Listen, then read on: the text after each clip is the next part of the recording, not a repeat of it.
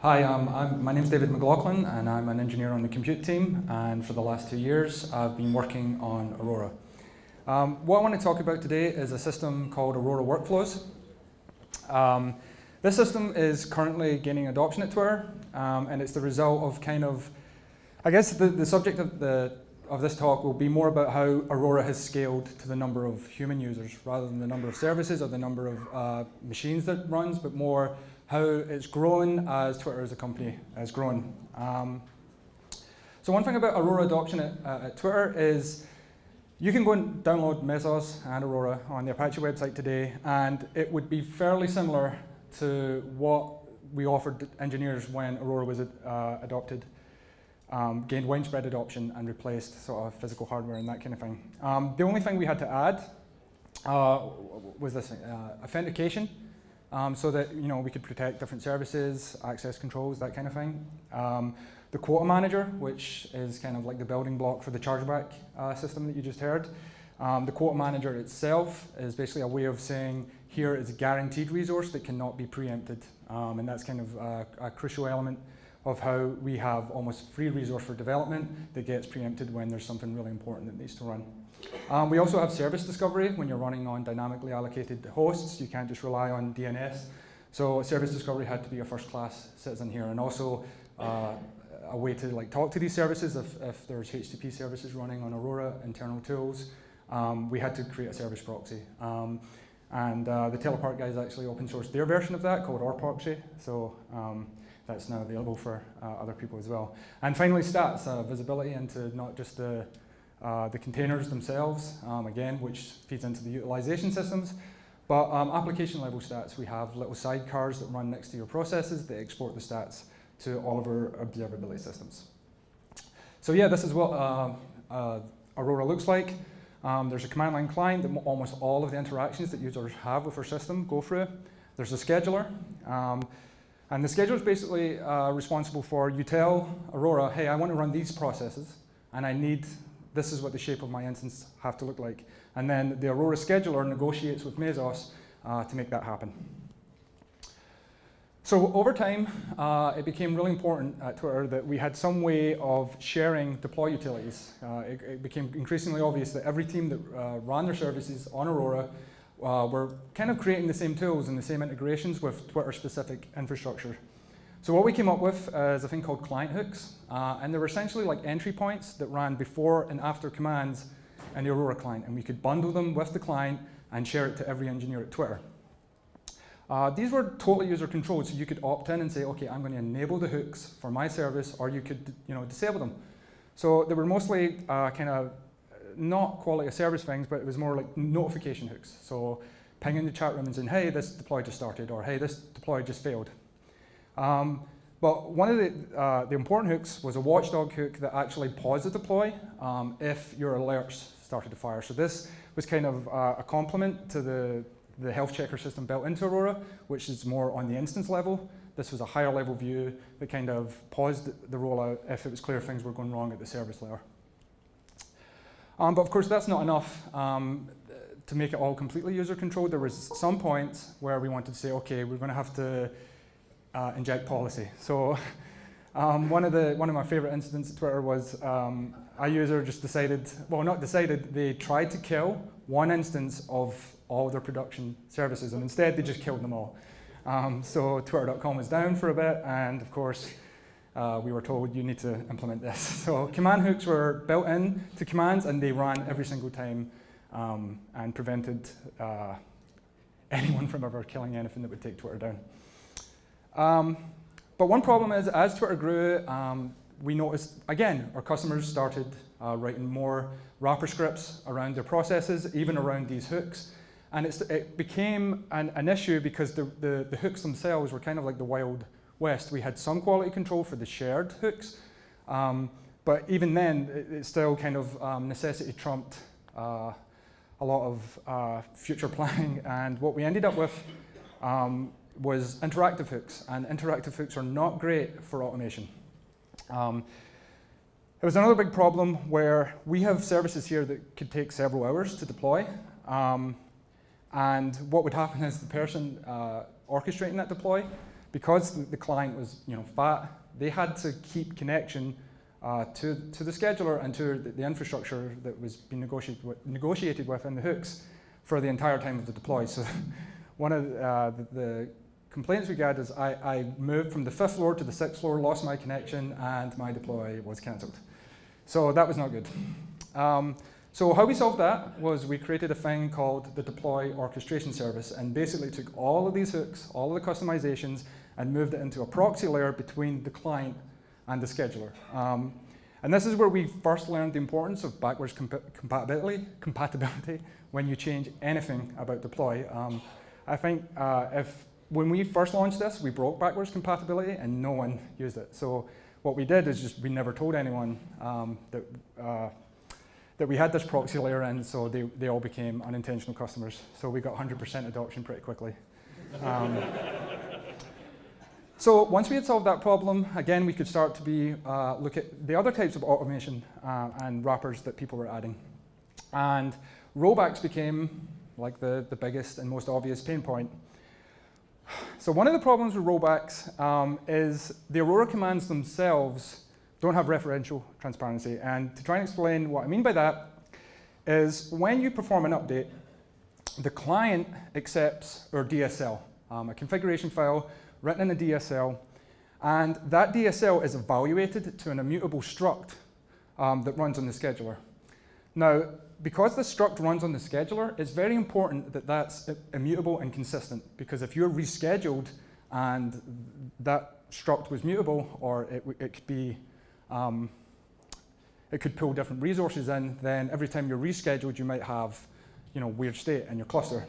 So at Twitter in general, all of your job update requests are uh, consistent. But the service.aurora file, because that can, that, that can evaluate to a different job update request each time you run it, because the underlying resources changed, a user moved a pointer, um, you, we couldn't rely on things like source control to do rollbacks. They couldn't just go, okay, I'm going to check out the branch where my service.aurora file, uh, uh, where the, ser the service.aurora file I supplied to my update start command when the, the server was in a good state because it might evaluate to um, the, the, current state or a future state. So developers had no clear way to revert to previous configuration. What they wanted access to was the job update request, but all of their services are defined in our DSL. So what they ended up, uh, users ended up doing was they started annotating their packages with uh, a live flag and that meant they had to go in and edit their file to roll back. They had to identify that version. And it just it wasn't great. And this was kind of compounded by the fact that we have multiple Aurora clusters. So um, your service is very rarely just running on one cluster. It's running on multiple. So we have redundancy at the data center level. And so for service owners, it meant you know whatever your deploy process was for getting into production in one zone, you had to repeat it for all the zones at Twitter.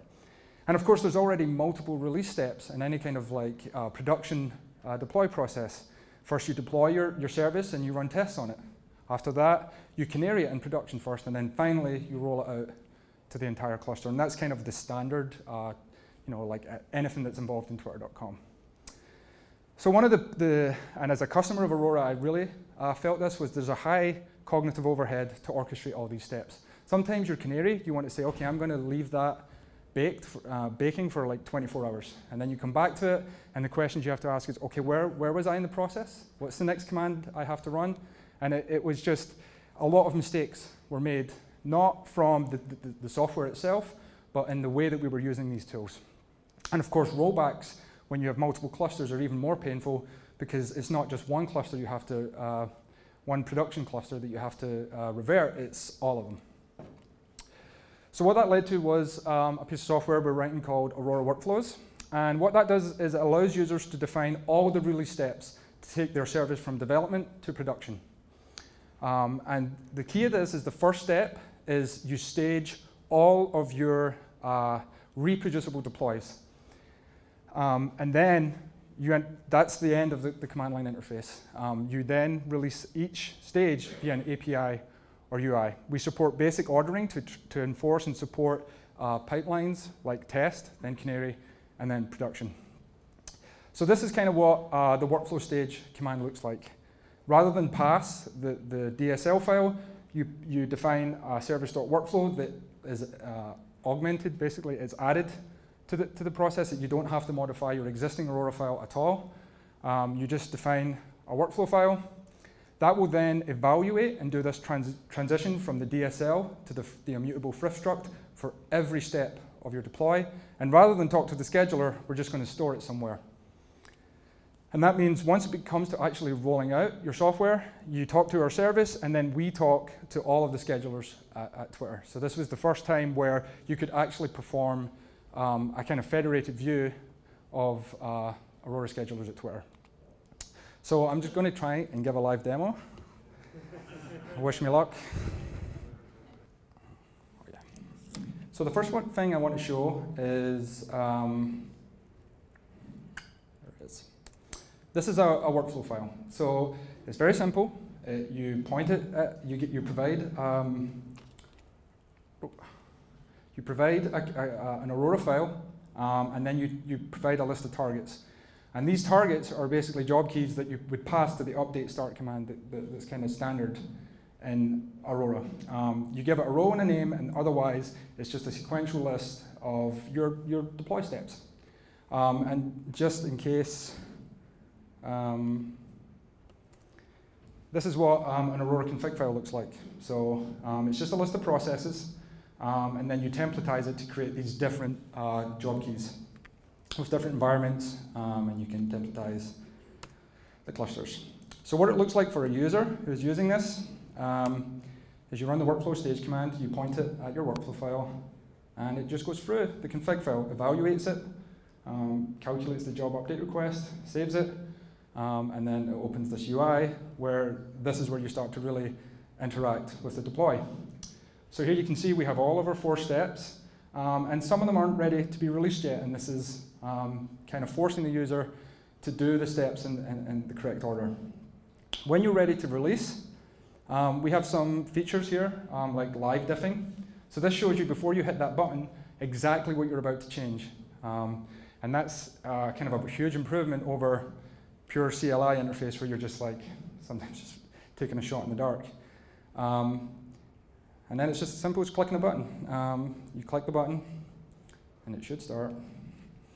Um, and then, yeah, the release is in progress.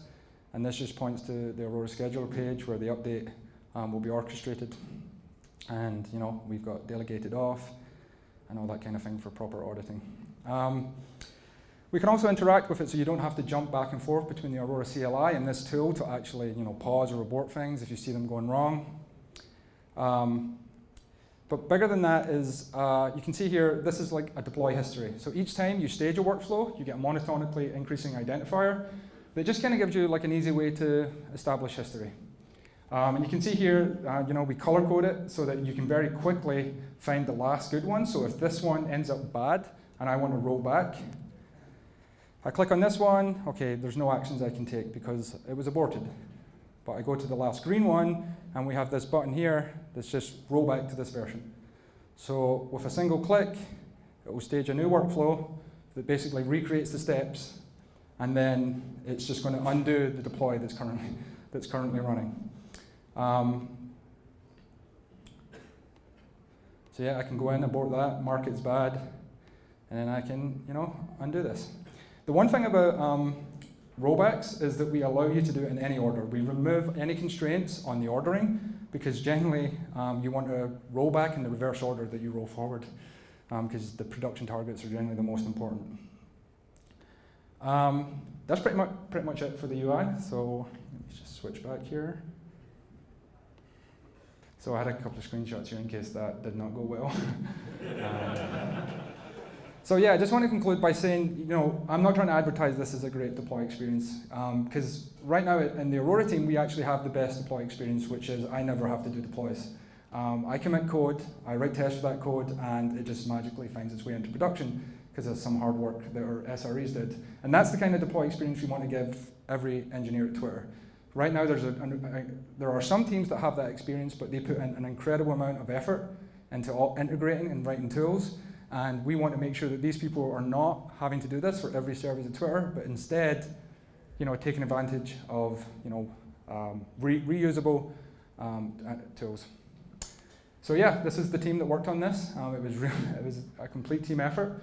Um, and uh, these were some of the people that helped um, uh, get adoption of this uh, system at Twitter as well. So thanks, yeah, and if you have any questions.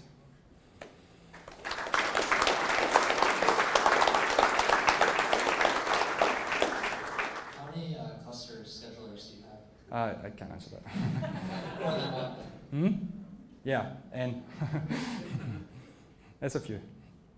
And we have, you know, multiple in, uh, in each data center, so we have some like isolated for our own testing, and our software has to run in all of them, so um, yeah. Hi, Sean. How do you manage the deploy orchestration service? We, that runs on Aurora, so we kind of dog food um, uh, workflows. It's deployed via workflow, so we, right now we just go to a CI job, click a button, and it stages a workflow, and then we have to manually go through it. Um, that's the part we want to make sure that it's almost like you want the Aurora update process to be the workflow update process, where you just click a button, start, and it rolls through um, and automates that entire thing. So no one's clicking buttons, no one's running commands.